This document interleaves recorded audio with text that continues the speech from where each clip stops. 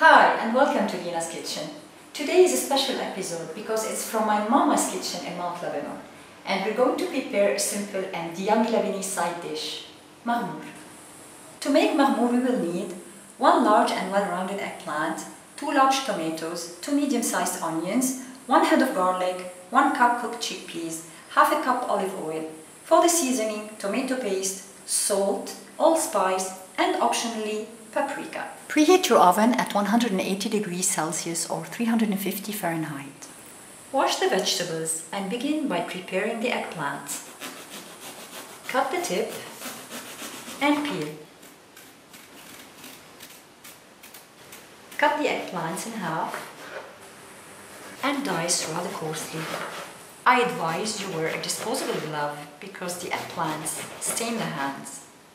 Pour one quarter of a cup olive oil in the baking tray. Transfer the eggplants. Add one teaspoon salt and mix. The eggplants will absorb the olive oil and salt. Many people deep fry the eggplants, but I prefer to grill it in the oven. It's healthier this way. Put in the oven for 30 minutes. Meanwhile, slice the onion in half rings.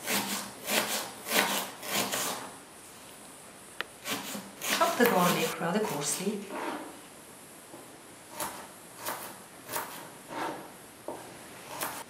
Also cut the tomatoes rather coarsely.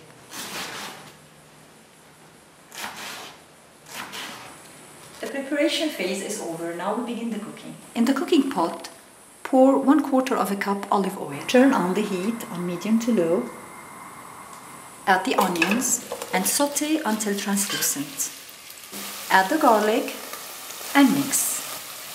Saute for two to three minutes.